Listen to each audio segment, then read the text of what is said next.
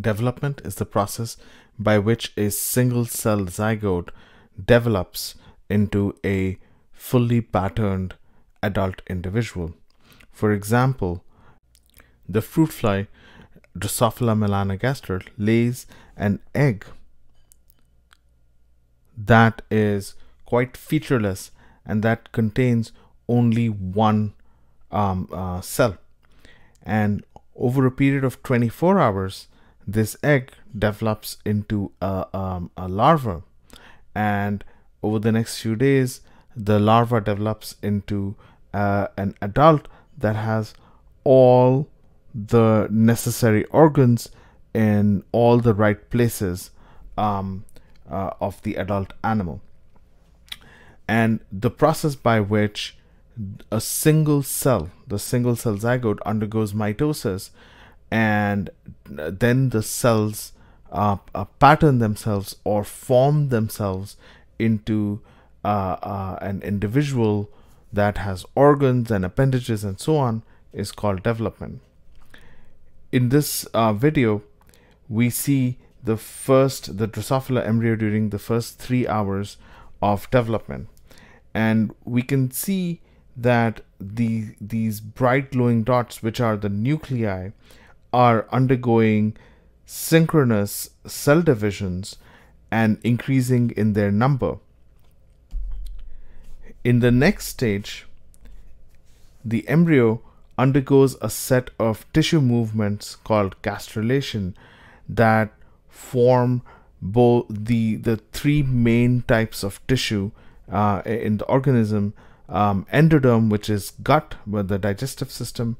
ectoderm which is skin and neural tissue and mesoderm which is um, uh, uh, organs uh, everything that is not um, the endoderm or the ectoderm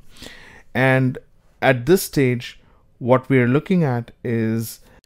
the organization of the embryo into repeating units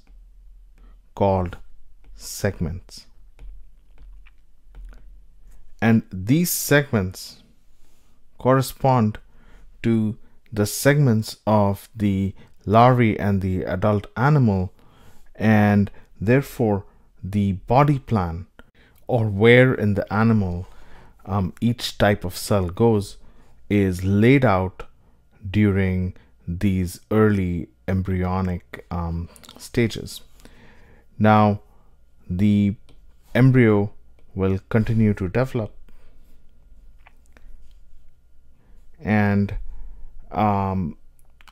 we will see further uh, tissue movement and specialization of the cells into um, different organs. Um, on the bottom, we can see the formation of the nerve cord, which is part of the nervous system of the animal. And soon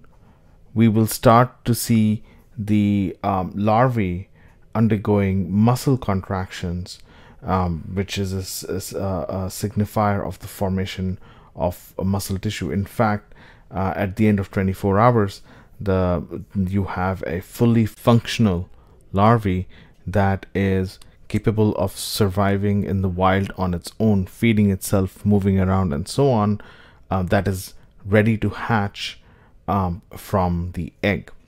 What is amazing about this process of development is that the egg will go from a single cell to billions of cells organized into um, organs and, and tissues in a matter of 24 hours completely autonomously therefore and requiring no input from the outside and uh, so development is evidently a very important problem from um, a scientific viewpoint but it is also a very important problem from a medical viewpoint since a lot of uh, diseases especially um, genetic defects, um, arise from errors uh, during development. For the longest time,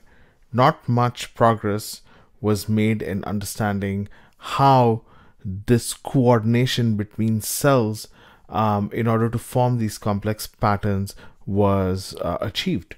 Um, some of the earliest insights were through transplantation um, experiments. For example, Hans Spemann took a region of the newt embryo called the dorsal blastopore lip and transplanted it into a different embryo. This led to the development of an, uh, uh, two newts attached to each other um, that, that were reflections of each other. Similarly, if you take um, a region of the chick limb bud, um, so the part of the embryo that's going to develop into the pinky, and then transplant that tissue into the part of the limb bud that's going to become a thumb, you get a mirror image, uh, um, uh, extra digits that are mirror images of the normal digits.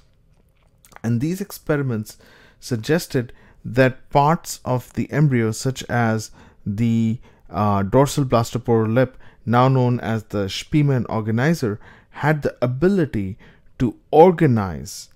um, the rest of the cells in an embryo into um, into uh, adult body plans or parts of adult body plans and therefore these uh, uh, parts of tissues uh, came to be known as organizer. And one clear implication um, uh, from these organizers was that they must be secreting uh, chemicals that um, can signal to other cells to organize themselves into patterns um, to form other embryos or uh, other digits as the case may be. And these chemicals came to be known as morphogens. However um, there was not much progress um, in understanding this this process of development until scientists started taking a genetic approach to development, which means when scientists started to discover which genes controlled this process of development and what kind of uh, proteins those genes genes coded for and how those proteins worked it is when this genetic approach to development was adopted um, uh, is when we got um, deeper understanding of development. Before we go deeper into um, the genetics of development, um, let us um, discuss um, some aspects of the uh, uh, fruit fly, the Drosophila melanogaster body plan, as well as its life cycle. The belly of uh, the animal as well as of the embryo is called ventral, whereas the back is called dorsal. The head of both the animal, the adult animal, and the embryo is called anterior, and the tail is called posterior. So, um, we have basically two axes, two ways of uh, cells to know where in the embryo they are there's the anterior to posterior axis or the antero-posterior axis and the other axis is the dorsal to ventral axis or the dorsoventral axis. Also, as we have discussed before, the body of the fruit fly is divided into repeating units called segments. There's eight abdominal segments, three thoracic segments, and three segments in the head. And each segment is specialized um, to have uh, particular organs or particular appendages attached to it. For example, the first thoracic segment has the first pair of legs um, that, that um, um, grow out of it,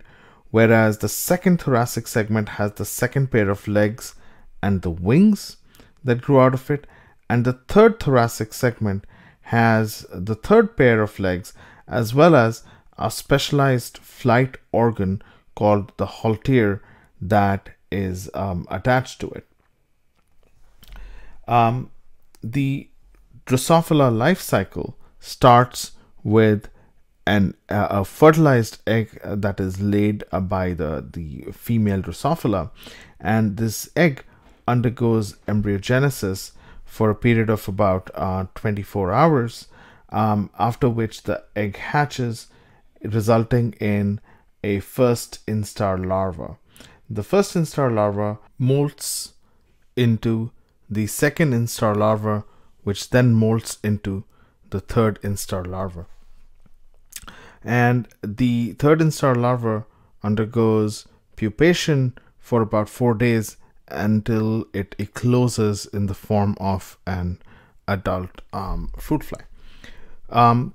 one of the big challenges of doing genetics in, in development is that these genes act so early and are of such uh, uh, importance to the survival of the animal that individuals who are mutant for these genes often die um, during embryogenesis itself, making it very hard to see the phenotypes uh, that these mutants have, or you know, uh, to to determine what part of the developmental process a particular gene controls. The Drosophila uh, embryogenesis helps us overcome this problem because even though um, uh, mutants for developmental genes will die in during embryogenesis, um, we would still be able to see the body plan of the larva. And um, this larva has an exoskeleton made up of uh, chitin. And um, in this exoskeleton are these hair like structures organized in these uh, very stereotypical patterns called denticle belts. And looking at the number of the denticle belts helps us tell how many segments are there, as well as um, looking at the pattern or the shape of the denticle belts tells us what segments there are. So even though um, the the developmental uh, genes, their mutants are lethal um, at a very early stage, it is still possible to identify what phenotype, what aspect of the body plan those genes, genes control. Similarly, um, the third instar larva has these disc tissues organized in discs that um, give rise to particular appendages in the adult during um, pupation. And um, one can look at, even though the um, larva would die in mutants uh, for uh, developmental genes, one can still look at the um, uh, both the the uh, patterns of the imaginal discs as well as what genes are expressed or not expressed in these imaginal discs to determine um, you know what phenotype particular genes what appendage phenotype these particular genes control